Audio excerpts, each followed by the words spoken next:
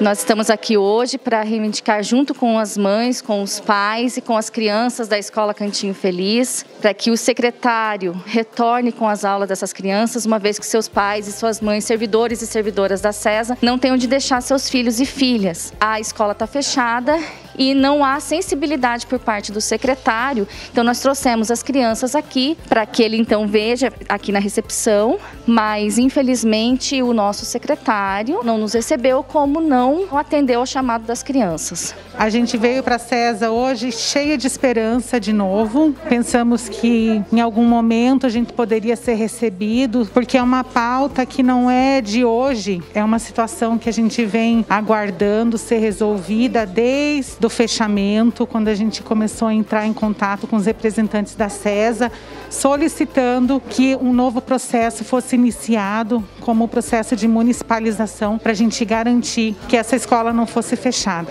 Desde o ano passado a gente está sem escolinha, vai fazer dois anos que até agora eles não resolveram a situação da escolinha dos servidores da saúde. Faz dois anos que meu filho está em casa comigo e meus familiares me ajudam. A escolinha faz muita falta. Ela foi fechada de uma maneira abrupta, não avisou direito os servidores, os familiares e a gente está na expectativa de que a escolinha abra, já que o Estado não pode assumir então que faça um convênio ou municipalize essa escolinha, mas o que não pode é os servidores da saúde nesse momento de crise, de pandemia, ficarem sem uma escolinha para os servidores. E essa escolinha é uma escolinha que já tem mais de 30 anos, então nessa gestão a gente vê um descaso da escolinha.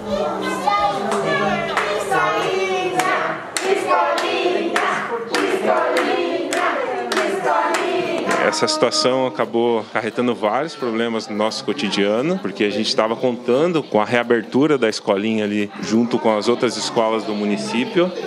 Então eles não passaram para a gente uma programação que a, a escolinha ia reabrir e, e, nem que ia fechar. Eles deixaram a gente meio que em stand-by ali, esperando, né? E com isso a gente perdeu as datas para estar tá incluindo os nossos, os nossos filhos em, em, escolas municipais. Também a parte de educação dela, né? No desenvolvimento, na aprendizagem. A gente está tendo que fazer tudo por conta mesmo, porque eles também não estão dando esse apoio para a gente de, de passar material informativo, de como fazer. E as crianças sentem falta. Acontece que essa escola fechou por causa da pandemia e aí a gente não teve mais esse retorno do Estado. A municipalização foi iniciada, era só uma obra que era, tinha que ser feita, era só uma documentação que tinha que ser resolvida. E aí a gente está nesse impasse, aguardando a documentação da CESA, aguardando o retorno da CESA, aguardando providências e as crianças estão sem escola. Então nós estamos com uma política de educação e uma política de saúde novamente atacada e desvalorizada por esse governo e por esses secretários. Eu quero escolinha. Eu quero